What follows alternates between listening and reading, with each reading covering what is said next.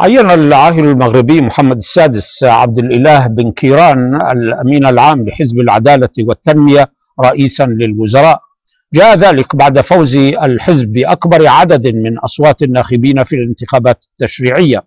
وصرح بن كيران في مقابلة مع الجزيرة بأنه سيسعى لتكريس الديمقراطية وأنه سيشرع بإجراء اتصالات ومشاورات مع الأحزاب الأخرى بادئا بحزب الاستقلال وكتلة الاتحاد الاشتراكي.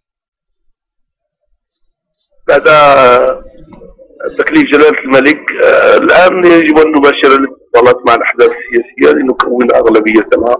حكومة يعني تكون في خدمة الوطن. إن شاء الله الرحمن الرحيم مكونة من آه، يعني الأحزاب التي ستقبل التحالف معنا والتي يعني نرجو أن تعطينا أفضل ما عندها. نحن سوف نبشر مسؤولياتنا. الآن لابد من تكريس الديمقراطية الآن من الآن يعني يجب أن تذهب الديمقراطية في اتجاهها صعودا وأن يشهد لنا بعد كل الانتخابات ونحن مقبلون على أجندة طويلة من الانتخابات. هذا أعتقد أنه سيحل يعني 30% من مشاكل المغرب.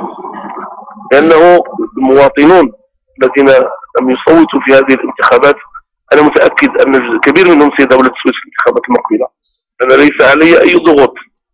اتصل بي عدد من السفراء الأجانب وهنؤوني وما بدا لي أبدا من كلامهم أن هنالك ضغوط.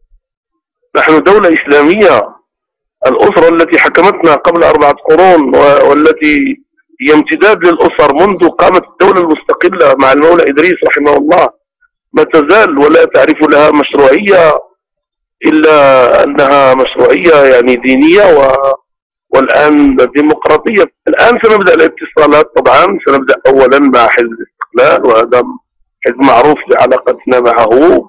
والكتلة يعني باقي أحزاب الكتلة الاتحاد الاشتراكي المشتركية وكذلك إن كان من الممكن بعض الأحزاب الأخرى يعني مما كان يسمى التحالف الثماني.